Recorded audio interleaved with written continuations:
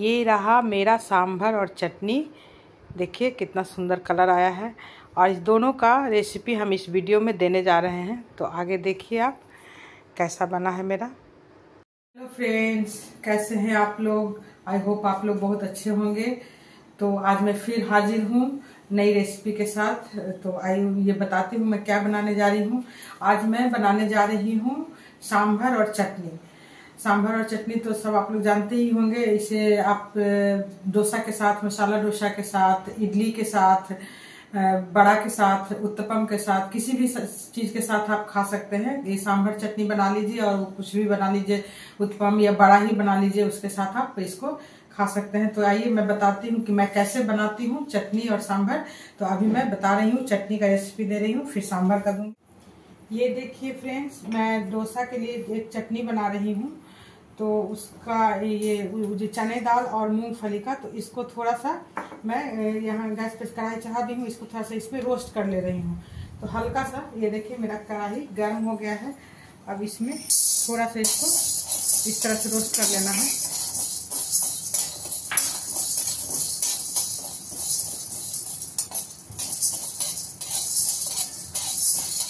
ये देखिए मेरा ये चना दाल जो है, इस तरह से भूज लिए हैं। एकदम सूखा भूजना है तो तेल वगैरह नहीं डालना है। अब इसको मैं एक प्लेट में निकाल दे रही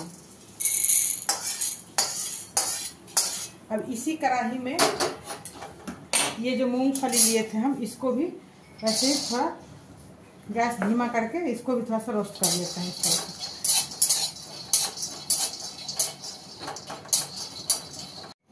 ये देखिए मेरा मूंगफली भी इस तरह से भुजा गया है। ये देखिए और अब इसको हम प्लेट में निकाल ले रहे हैं। इससे इससे क्या करना है कि इसको थोड़ा सा ठंडा होने देंगे। और ठंडा होने के बाद जो है ना, ये इससे, इसका जो छिलका है, इस तरह से हटा देंगे। अभी गर्म है, तभी छिलका ये नहीं निकलेगा क्योंकि ये सॉफ्ट रहता है। ठंडा होने के बाद थोड़ा कड़ा हो जाएगा तो इसका छिलका निकाल देंगे। फिर ये सब मिला के हम चटनी कैसे बनाते हैं, आपको दिखाते ये देखिए फ्रेंड्स, चटनी का जो मूंगफली हमने भूजा था, उसको इस तरह से कीजिएगा ऐसे हाथ से। रगड़िएगा तो सारा छिलका अपने आप जो है इस तरह से निकल जाएगा। ये देखिए। ये देखिए, इस बाउल में अब ये जो चना दाल हमने रोस्ट किया था, इसको डाल दे रही हूँ। और ये मूंगफली जिसको अच्छे से छील लिए हैं, एक दो रह गया उससे कोई दिक्कत नहीं है, वो भी टेस्ट अच्छा लगता है। इसको भी इसी में डाल दे रही हूँ। और फ्रेंड्स इसमें एक दो इंग्रेडिएंट्स और डालूँगी मैं। थोड़ा सा अभी क्या कर रही हूँ कि पानी डाल के इसको फूलने डाल रही हूँ। आधे घंटा में अच्छे से फूल जाएगा। उसके बाद जिस समय मिक्सर ग्राइंडर में मैं इसको मतलब फाइन पेस्ट बनाऊँगी, उसमें दिखाऊँगी और क्या क्या मैं डाल रही हूँ, तभी इसको आधे घंटा के लिए छोड़ दे रहे हैं। तो ये देखिए फ्रेंड्स उस समय जो हमने मूंगफली और चने दाल को आधे घंटा पानी में डाला था, ये इस तरह से फूल गया है। अब इसको हम एक मिक्सर ग्राइंडर में डाल रहे हैं। इसका अच्छे से पेस्ट मतलब थोड़ा सा पतला ही रहेगा, ज़्यादा ये गाढ़ा नहीं। इस तरह से इसको मिक्सी जार में डाल दिए हैं। और ये दो हरा मिर्च लिए हैं और ये लहसुन की तीन चार कलियाँ हैं। आपको अदरक लेने का मन है तो आप अदरक भी ले सकते हैं। और इसमें अब हम डाल रहे हैं थोड़ा सा ये मेरा नारियल पाउडर है। कच्चा नारियल डाल सकते हैं आप लोग। अगर कच्चा नारियल नहीं है आपके पास कभी कभी ऐसा होता है कि कच्चा नारियल गया, नहीं ला पाए तो नारियल का जो ये बुरादा होता है, मार्केट में जो मिलता है, इसे आप इसमें डाल सकते हैं। इससे भी टेस्ट बहुत अच्छा आता है चटनी का। तो ये देखिए हम, इसको तीन चम्मच नारियल का बुरादा लिए हैं। इसको इसमें डाल दे रहे हैं। अब जो है ये टेस्ट के अनुसार इसमें नमक जाएगा, स्वाद के अनुसार, ये देखिए। और अब इसमें दो चम्मच दही डाल रहे हैं। अगर दही नहीं है तो आप इमली का पल्प भी डाल सकते हैं। अब इसमें थोड़ा सा पानी डाल रहे हैं। अब हम इसको मिक्सर ग्राइंडर में ग्राइंड कर लेते हैं और दिखाते हैं आपको कि किस तरह का इसका पेस्ट होना चाहिए। अब ये देखिए, मेरा चटनी बिल्कुल इस तरह से पीस कर तैयार हो गया है। अब हम इसको क्या करते हैं कि एक बाउल में निकाल लेते हैं। ये देखिए, इस तरह से। फ्रेंड्स, अगर आपके पास दही नहीं है और इमली का पल्प भी नहीं है तो इसके जगह पे आप नींबू भी इस्तेमाल कर सकते हैं, नींबू भी डाल सकते हैं। ये देखिए, इस तरह से मेरा चटनी तैयार हुआ है। और अब हम इसमें इसको छोंकते हैं। तो इसके लिए ये कलछुल चढ़ा दिए हैं। इसमें हम डाल रहे हैं थोड़ा सा तेल। थोड़ा सा इसमें तेल डाल रहे हैं। देखिए, मेरा तेल गर्म हो गया है। अब इसमें हम काला वाला राई डाल रहे हैं। काला वाला जो राय आता है, वो वाला। ये देखिए, और ये चटक गया है। अब इसमें हम ये हाफ़ मिर्च का टुकड़ा डाल रहे हैं और ये करी पत्ता, ये देखिए। ये हो गया, अब गैस बंद कर दीजिए। और इस तरह से इसमें बस डाल देना है। ये देखिए, मेरा चटनी तैयार है। ये देखिए। आपको अगर मन है तो इसमें मिर्च पाउडर भी आप तेल में छोंकने के समय डाल सकते हैं, लेकिन हम नहीं डाले हैं। ये हम पहले ही बताए हैं फ्रेंड्स कि मैं, हम लोग के यहाँ तीखा कम खाते हैं लोग, इसीलिए अगर आप लोग तीखा पसंद करते हैं तो मिर्च पाउडर भी डाल सकते हैं छौंकने में। ये देखिए, मेरा चटनी बनकर तैयार है। ये देखिए।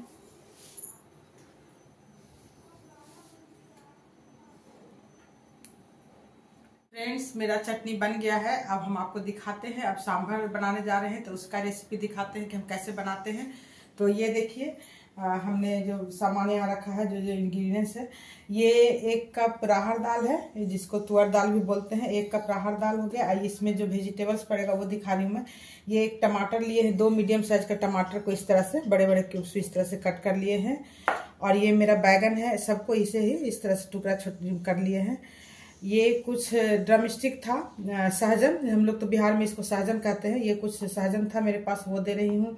हरा मिर्च है, एक हरा मिर्च को दो बीच से इसको फाड़ दिए हैं इस तरह से। ये गाजर है, ये भिंडी है, ये प्याज है। प्याज को भी इस तरह से छोटा छोटा टुकड़ा कर लिए हैं। लंबा में नहीं है, एक बीच से और टुकड़ा कर लिए हैं इस तरह से। और ये लौकी का कुछ टुकड़ा है। और ये देखिए, ये इमली का इमली को ना कुछ देर गर्म पानी में करके हम रख दिए थे ताकि इसका पल्प जो है अच्छे से निकल जाए। ये हम सांभर लास्ट में बनाएँगे तो उसके लास्ट में देंगे। और ये सांभर मसाला है मेरा। और ये देखिए, इसमें ये कश्मीरी लाल मिर्च है, ये हींग है, ये करी पत्ता है, ये मेथी दाना है कुछ, और ये हल्दी पाउडर, और ये नमक लिया है हमने, जिसे स्वाद के अनुसार उसमें डालेंगे।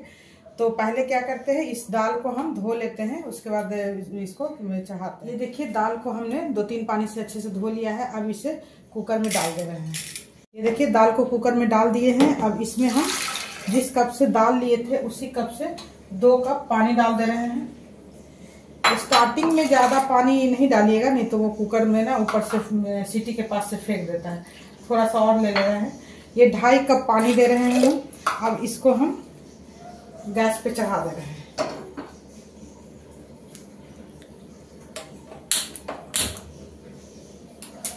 और इसमें अब हम नमक डाल रहे हैं।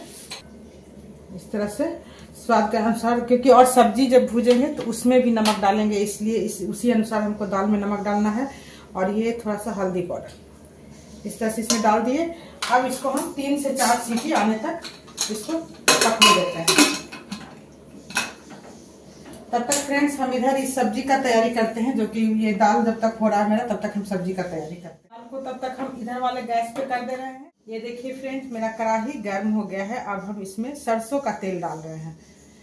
आपको जिस तेल में बनाने की इच्छा है, उसमें बना सकते हैं। हम इसमें सरसों का तेल डाल रहे हैं। और ये देखिए, ये काला वाला राई लिए हैं। इसको हम फ़ौरन डालना है। इसको उस समय हम आपको दिखा नहीं पाए थे। काला वाला राई इसमें अभी डालना है। तेल मेरा गर्म हो गया है, अब हम इसमें इसी समय राय डाल दिए हैं। और ये जो मेथी दाना लिए थे, इसको भी इसी समय डाल दे रहे हैं। और ये हिंग इस तरह से। और ये हरा मिर्च जो लिए हैं, ये ये वाला इसी से मैं अभी डाल दे रहे हैं। और ये करी पत्ता भी। करी पत्ता अच्छे से डालिएगा, करी पत्ता का अच्छा टेस्ट आता है सांभर में। और उसके बाद अब हम इसमें प्याज डाल रहे हैं। सबसे पहले प्याज डाल रहे हैं।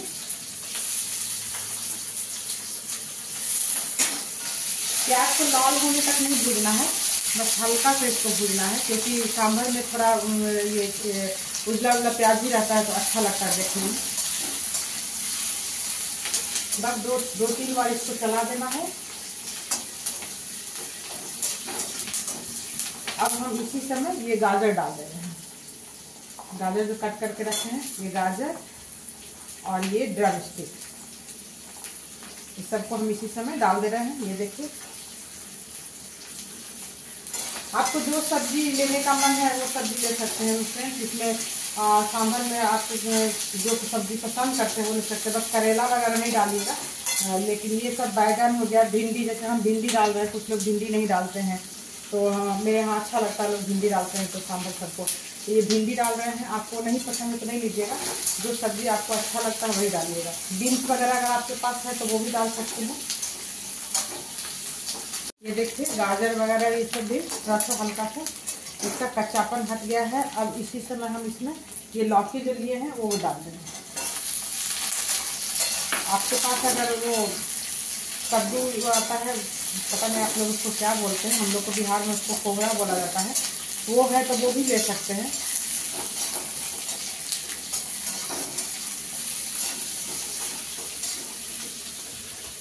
और ये भिंडी भी हम इसी से समय डाल दे रहे हैं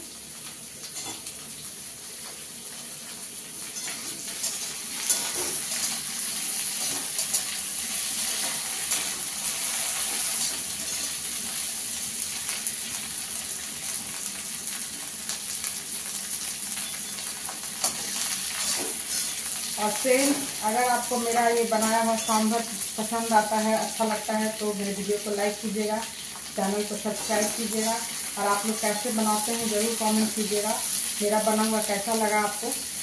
बनाते तो सभी लोग हैं, सबका बनाने का अलग अलग थोड़ा सा कुछ ना कुछ तरीका चेंज हो जाता है।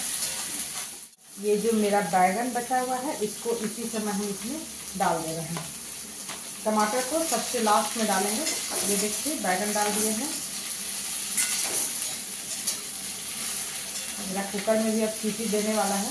तीन से चार सीटी ही लगाना है, ज़्यादा नहीं, क्योंकि फिर से सब्ज़ी सब डाल के उसमें एक बार हम थोड़ा सा बंद कर देंगे तो उसका टेस्ट बहुत अच्छा आएगा।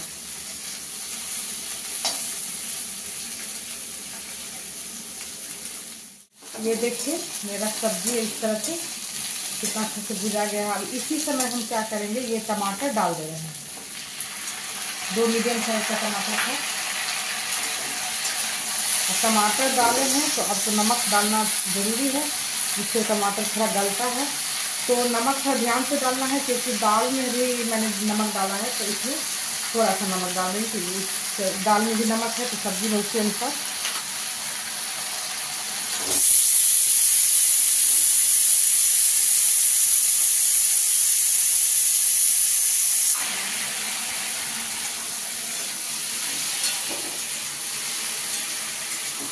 देखिए मेरा टमाटर भी थोड़ा सा गल गया है।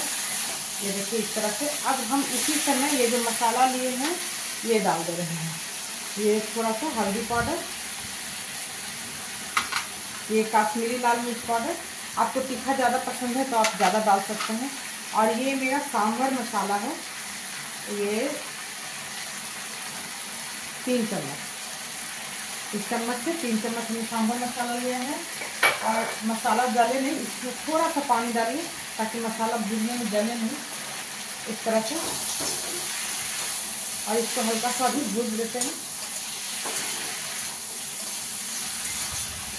जैसे ही सांभर मसाला डालिएगा, आपका सब्ज़ी का खुशबू उसी समय से बहुत अच्छा आने लगेगा। ये देखिए। मेरा मसाला भी अब थोड़ा सा भुजा गया है।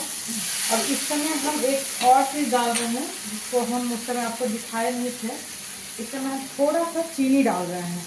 आपको अगर गुड़ की इच्छा है तो गुड़ भी डाल सकते हैं। ज़्यादा नहीं डाल रहे हैं, आप थोड़ा ज़्यादा भी डाल सकते हैं। थोड़ा सा चीनी डाल रहे हैं। इससे क्या होता है कि सांभर का जो टेस्ट होता है, खट्टा मीठा बहुत अच्छा लगता है। देखते होंगे मार्केट में आप सांभर खाते हैं तो थोड़ा सा मिठास भी उसमें रहता है। तो इसीलिए चीनी या गुड़ कुछ भी डाल सकते हैं। चीनी डाले हैं और अब हम इसको थोड़ी देर के लिए ढक दे रहे हैं। जब तक मेरा दाल भी हो जाएगा तो फिर हम उसमें डाल देंगे सब्ज़ी को।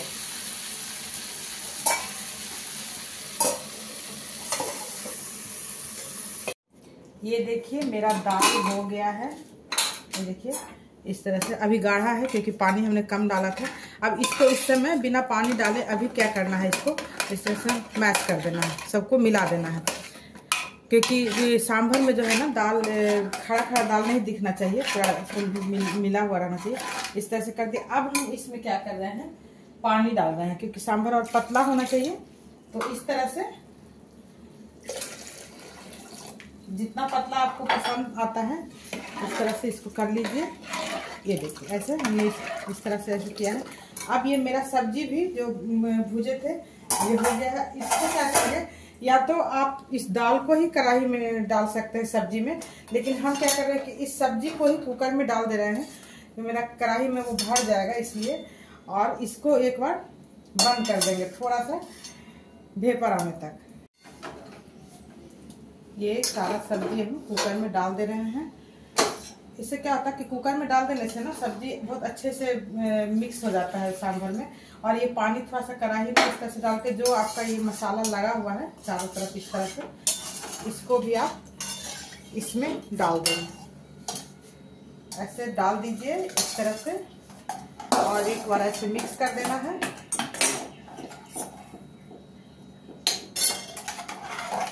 ये देखिए, सब मेरा मिक्स हो गया।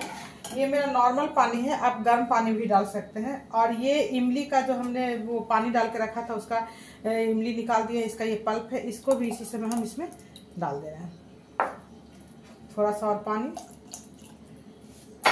बस, अब मेरा सांभर लगभग हो ही गया है। इसको क्या करेंगे कि थोड़ा सा ढक्कन बंद करके और फिर से गैस ऑन करेंगे। और सीटी नहीं आना है, बस हल्का सा भेपर बनने लगेगा तो उसी समय हमको गैस बंद कर देना है। तो मेरा सांभर बनकर तैयार हो जाएगा। फिर दिखाऊँगी मैं आपको कि मेरा सांभर कैसा बना है। ये देखिए, मेरा सांभर बन गया है। ये देखिए, कितना खूबसूरत कलर आया है। देखिए, अब हम इसको इस तरह से चला दे रहे हैं। ये देखिए। दिखाती हूँ मैं इसको बाउल में निकाल कर सब्ज़ी खड़ा खड़ा ही हम रहने दिए हैं। अगर आपको जैसे मन है कि इसको मैश कर दे तो कर सकते हैं, लेकिन हमको लोग खड़ा खड़ा ही सब्ज़ी अच्छा लगता है। ये देखिए मेरा सांभर बनकर तैयार है।